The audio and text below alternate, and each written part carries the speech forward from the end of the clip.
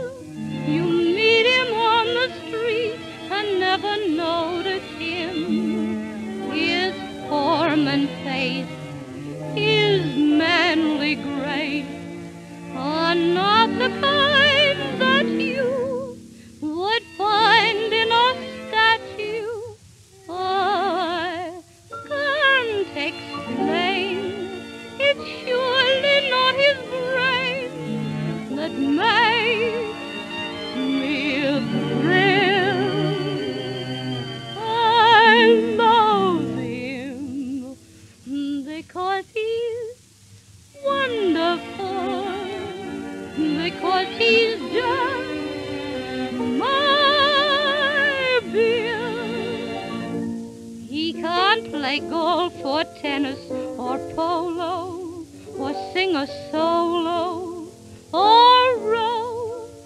He isn't half as handsome as dozens of men that I know.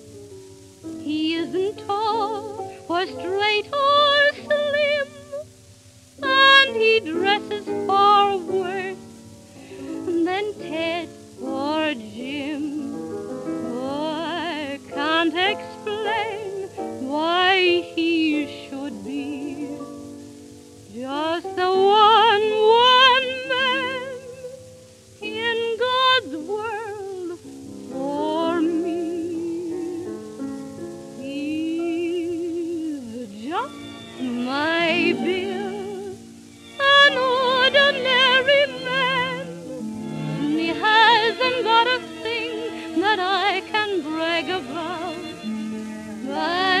yet to be.